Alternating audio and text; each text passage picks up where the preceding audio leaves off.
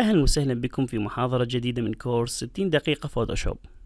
في هذه المحاضرة راح نتلاعب بالألوان بحيث تصبح بطريقة جميلة وأنيقة.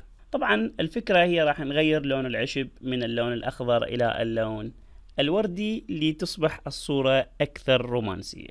جيد. الآن راح نجي إلى Adjustment Layers وراح نضيف Channel Mixer بهذه الطريقة.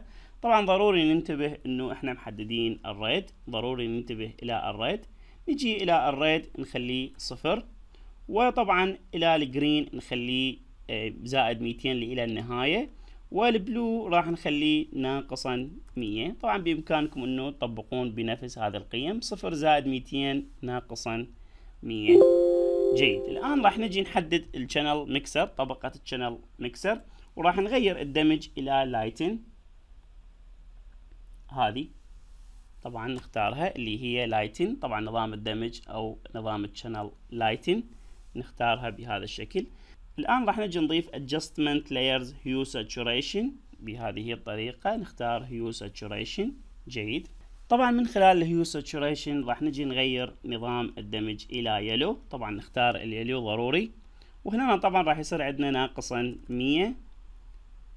وطبعا ناقصا عشرين بهذا الشكل. يعني نغير إلى يلو وناقصا مية ناقصا عشرين ومن ثم أوكي. طبعا إذا نلاحظ أنه الصورة هكذا كانت وهكذا أصبحت طبعا تستخدم هذا النوع من الصور في البوسترات والدعايات الإعلانية.